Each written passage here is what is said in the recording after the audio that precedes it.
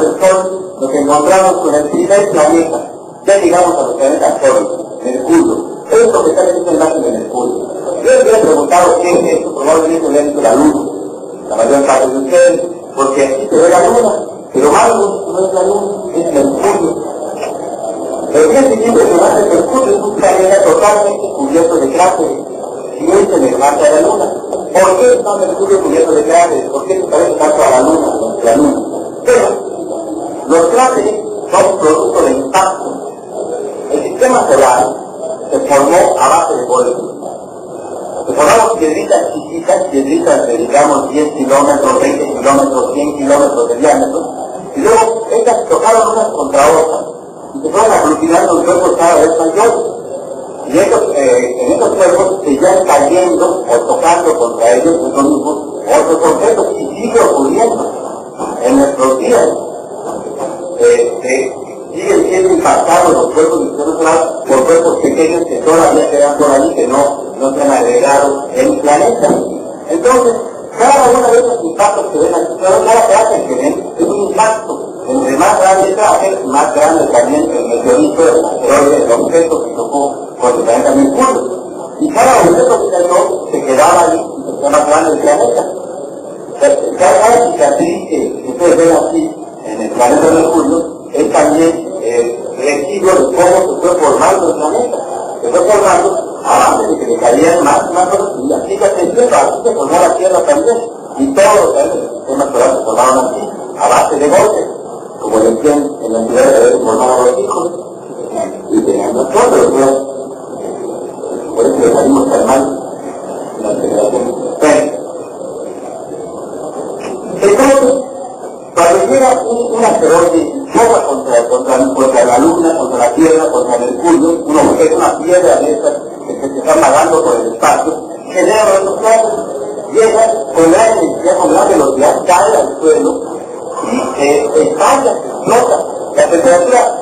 alta en el punto de choque, que la roca se funde se forman estos círculos, estos círculos que hay aquí, e incluso un rebote de la roca del centro, se forman estos círculos que alcanzan a en el centro de muchos cráteres hay montañitas, hay una montañita, en medio. Esa montañita es resultado de que un rebote, después de que vino el choque del objeto que cayó, eh, la roca se hunde y luego regresa, sale, y se queda congelada cuando está en el cielo del espacio, es el espacio eh, interplanetario, está muy frío, a, a temperatura bajísima, pero la roca es un instante nada más, y a ese instante genera el borde de clase y genera una componente pequeña que sí pueden ver en muchas de estas, de estas, de estos clases de la es lo mismo, exactamente en el centro de muchas clases de lunares hay una montaña, montaña de kilómetros de alto, no, no, no cerritos de ese tamaño, ni mucho menos, no, se.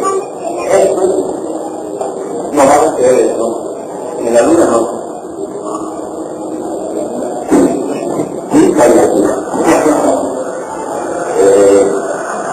Esa superficie de Mercurio, lo que nos indica es que Mercurio es un totalmente. Por eso está lleno de cráteres. Cada cráter que se ha formado en su historia, allí está. Sí, porque no ha habido nada que destruya el cráter. Eh, la Tierra tiene que tener tantos cráteres, tendría que tener tantos cráteres como tiene Mercurio. Tendría que ser igualitos. ¿Cuál es la diferencia? Que la Tierra está viva. Pero, diga en el sentido de que tantas cosas aquí la Tierra tiene atmósfera. La atmósfera se mueve y esto genera erosión. El aire levanta piedritas, arenas y con esa arena va hinchando, digamos, a, a, a, las montañas, a los cráteres, cualquier cosa que sobre, sobre la Tierra. Esto se llama erosión. El agua también erosiona, cuando va por dentro del agua, por donde llueve, las gotas arrancan pequeñísimos pedazos de tierra entonces, en la Tierra, los cráteres que deben haber no están, ¿por qué? Porque han sido erosionados, han desaparecido con el tiempo. Eh, eh, porque la Tierra está viva, le pasan cosas en. En Mercurio, cada cráter que se ha formado en la historia de formación del planeta, ahí está todavía, está todavía porque no que lo vean. La misma vida forma a las, a las cosas también.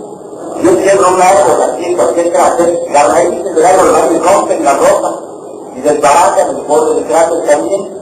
Eso no, eh, no ha ocurrido en el estudio porque no hay árboles, no hay plantas, no hay aire, no hay agua, no hay nada. Mercurio es un lugar extremadamente aburrido, no pasa nada. Absolutamente fuerte de novela. Entonces, tiene un registro, es de todo lo que le ha ocurrido en toda su vida. Y aquí vemos cómo deberían estar todos los planetas. ¿sí? A del Sol, ¿qué temperatura llega a tener? Llega a tener 400 grados en el lado donde da el sol, pero el lado eh, norte, digamos, no da el sol, en cambio, está a 200 grados bajo cero. Porque como no tiene atmósfera, no guarda el calor. Donde está el sol, está calentando. Pero donde no está dando el sol, se enfría. Eh, nosotros la Tierra conserva el calor durante la noche porque tenemos atmósfera, es como una cobija, digamos. O sea, la verdad que lo, lo guarda para nosotros y por eso, aunque está de noche, no tendría tanto eh, eh, en nuestro planeta. Debe ser muy frío, del lado frío que no tuviéramos atmósfera. Pero es curioso, Mercurio no es el planeta en que, que alcanza mayor temperatura. El planeta más caliente que vamos a ver ahorita presentando lo que vamos a hacer. Curiosamente porque Venus tiene atmósfera que guarda el calor, entonces claro, ejemplo, siente mucho calor y la temperatura está mucho más alta.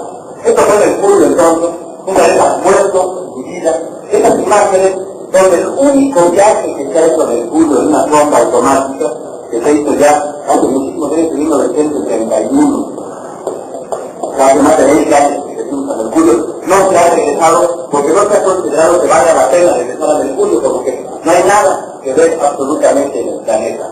Es el planeta más denso del sistema solar, eso sí. Tiene el núcleo sólido más grande de los planetas del sistema solar. Tiene un núcleo que abarca casi, casi las tres cuartas partes del planeta. Es casi puro núcleo, un núcleo de hierro, un núcleo sólido, muy denso, extremadamente denso. Y tiene una cosa curiosa nada más, eh, que que hay uno de esos, los nombres de los cráteres en Mercurio son nombres de artistas. Hay cráteres Bach, por ejemplo, el cráter eh, Beethoven, Mozart, hay cráteres Miguel Ángel, o sea, no se puede pedir más. Este, pero hay un cráter chiquito, así como este de aquí, que se llama Muncal, Muncal quiere decir en maya, Tenke, también se dice. Yo, maya últimamente no lo he practicado, pues se me pero eh, un cártel de Silveire es un crátercito eh, con nombre maya en Mercurio, que se usa para las coordenadas en, la provincia, pero es un detalle que no quiero. Pero es así como un homenaje a México en cierto, en cierto sentido, es lo mejor que tiene Mercurio. ¿Ya la chicas? Vamos a ver, corriendo. Bien. Venus es un planeta totalmente cubierto por nubes. No se ve eh, nada. Desde aquí, desde aquí, y si esto tiene movimiento de todo, lo que quiere decir que, ¿qué quiere decir esto? A ver?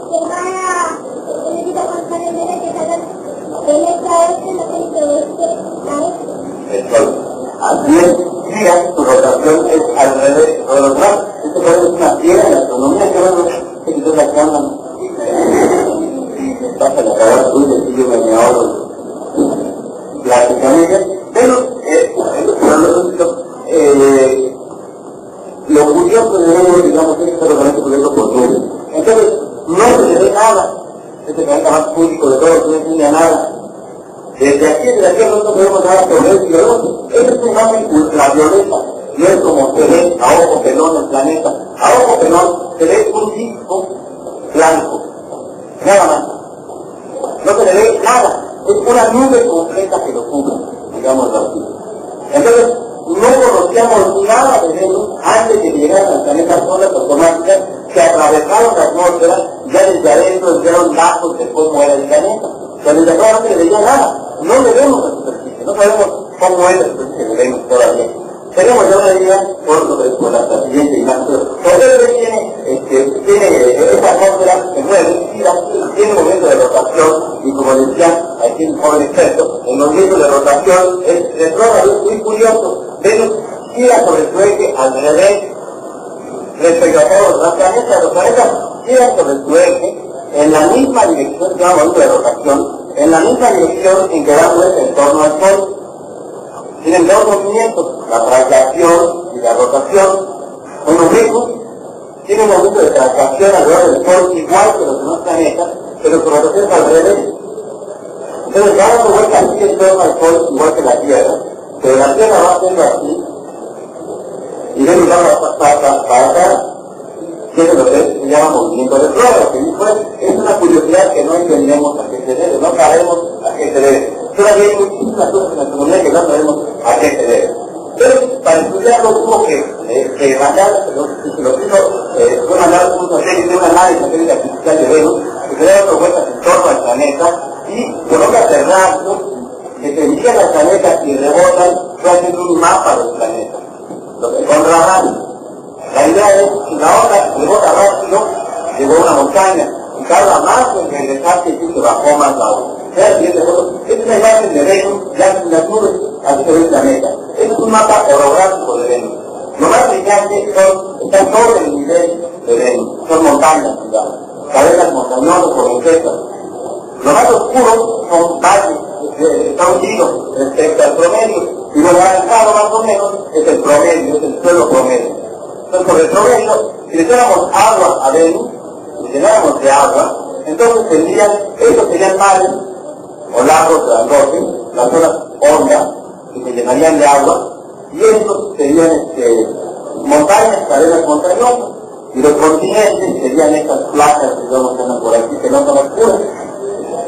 Estos son agujeros en el planeta, digamos así. Pero no. Pero resulta que es un infierno verdaderamente.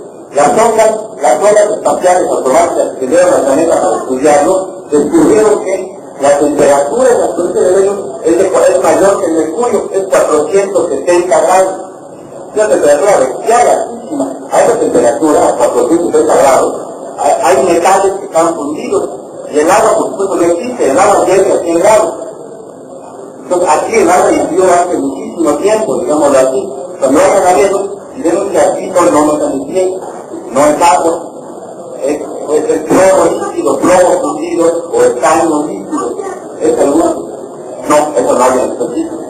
Eh, la, la, la, la también la presión atmosférica es enorme. En la superficie de Venus, la presión atmosférica es de 90 atmósferas, es 90 veces mayor que eh, aquí en la Tierra. Si quieren saber qué se siente vivir bajo 90 atmósferas de presión, es muy fácil. Cogen un tubo, un tubo eh, delante de la cabeza que mira un kilómetro de largo, se lo ponen en la cabeza y luego lo llenan de agua. Eso de cargar un kilómetro de agua encima, eso es una presión de 90 atmósferas, más o menos. ¿Qué es lo que esa presión? Es lo que se apertura, se aplasta, queda como calcomanía verdaderamente. Hay que enrollarlo nada más.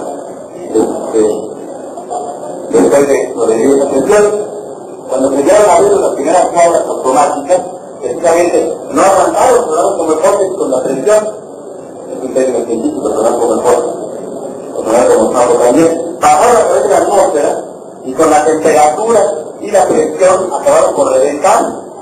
De hecho, luego más lo superaron, la primera forma que llegó a la superficie de Venus aguantó 23 minutos transmitiendo, pero nomás fue tres días, todo estaba aguantando el primer no hasta que, hasta que reventó, hasta que tronó, que colapsó por completo. Eso fue la primera sonda sonda soviética que es la primera que llegó al planeta Venus y nos mandó información de cómo. Pero es un infierno. Eso sí, llueve afortunadamente. Lo malo es que no llueve agua, lo que llueve es ácido sulfúrico. Precisamente hay nubes de ácido sulfúrico, eh, que es una sustancia que es más para el sulfúrico, pues no una Venus. Este, eh, las nubes de ácido sulfúrico llueven, pero no llega el ácido sulfúrico a la superficie del planeta, se evapora mucho antes por las altas temperaturas. Entonces la lluvia eh, eh, empieza a caer, pero se evapora luego, luego y regresa a formarse la nube de ácido sulfúrico. Aunque la, las nubes que vemos que cubren al planeta por completo no son de sulfúrico, son de dióxido de carbono. Las ácido sulfúrico no las vemos están más abajo, son las nubes que generan la lluvia. Entonces, es un verdadero infierno. Temperaturas a las que se funden los metales en el agua, presiones a las que se aplasta cualquier objeto dentro de la tierra y eh, nubes de ácido sulfúrico, lluvias de ácido sulfúrico. Eso es terrible. Guadalajara no es el